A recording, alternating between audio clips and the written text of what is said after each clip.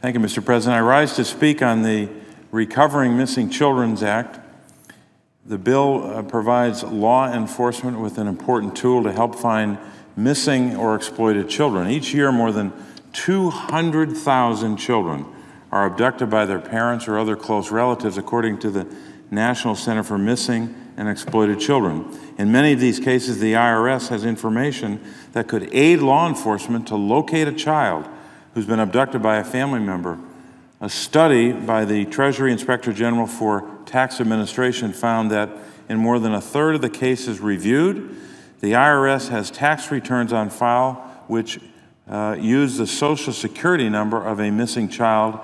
Of those, 46% had a new address uh, on file, about 13.6% total. However, the IRS cannot the IRS cannot share this protected confidential information with law enforcement officials since the tax code prevents the IRS from sharing the information unless specifically authorized as an exception to non-disclosure. Both Senator Enzi and Senator Klobuchar and I have introduced bipartisan legislation, the Recovering Missing Children Act, to aid in the recovery of missing children by providing a new tool to help law enforcement officials locate missing children and their alleged abductors. The bill amends the Internal Revenue Code to permit the disclosure of relevant tax information explicitly for the purpose of aiding criminal investigations into missing or exploited children. Specifically, the Act ensures that select taxpayer information will only be released to law enforcement officials as part of a legitimate investigation or judicial proceeding under the orders of a federal judge. The Act amends the law to allow for federal law enforcement to share information on a limited basis with state and local law enforcement that are part of a team directly involved in investigating and prosecuting such cases. Many investigations into missing and exploited children are conducted at the state and local level.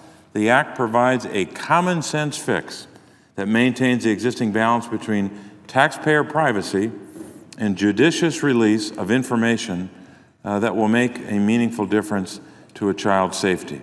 For the, for the families that are affected, the reality that their child is missing is devastating.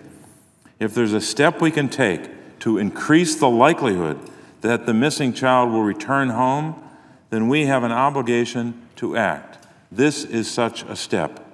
I'm proud to have worked with, with both senators Senator Klobuchar, Senator Enzi, on this important issue since 2011, and glad to have the endorsement of both the National Center for Missing and Exploited Children and the National Association of Police Organizations. If the provisions in this bill can bring one child back to their rightful families safe and sound, it's worth it. This will assist those who have been searching and spending sleepless nights worried about their missing children and do it in a way that doesn't undermine Americans' privacy. So, Mr. President, with that, I would ask unanimous consent that the Finance Committee be discharged from further consideration of H.R. 3209 and the Senate proceed to its immediate consideration. The clerk will report. H.R. 3209, an act to amend the Internal Revenue Code of 1986, and so forth. I further ask that the bill be read. Excuse me.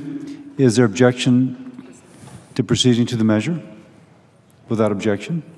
I further ask the bill be read a third time and passed. The motions to reconsider be considered and laid upon the table with no intervening action or debate. Is there objection? Without objection. Thank you, Mr. President. I yield the floor.